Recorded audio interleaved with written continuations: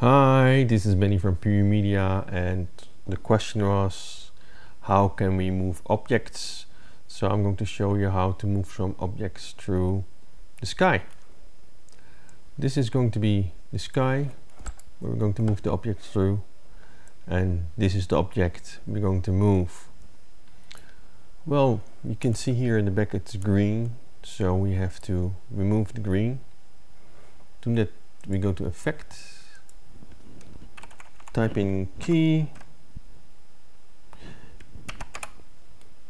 And I like ultra key the most. Drop it on top of the object. Get this pipette to change the key color. And now it looks like it's black but basically it's transparent. Let's move the object in the sky above. And you can see here it's quite big. To fix that, you, you click on the object. You see here motion, position, scale. With scale you can make it smaller and move the object up in the sky like that. Just adjust it the way you like it. And uh, to give you feel. I'm going to uh, play see here stuff is happening and the object is in the sky. Well I can imagine you want to move the object. So we go to the beginning of material go to object and you can here click on this position. Then the position is set at that. Scrub through your material. Move your object to the right like that and you can see a new keyframe is made. Let's see what happens. You play and we see the object moving in the sky and it looks almost real. Hmm. when you want to change the keyframes you can click on this one because I want to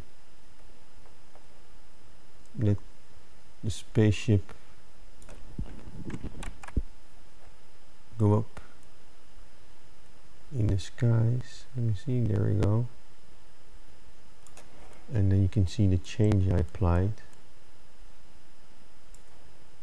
You see that the spaceship is going slowly into the sky and disappears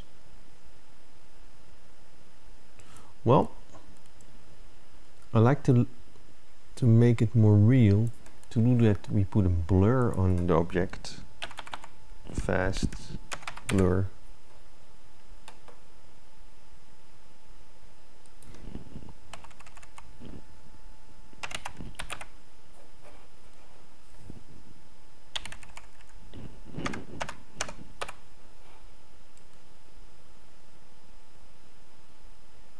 There it is fast blur.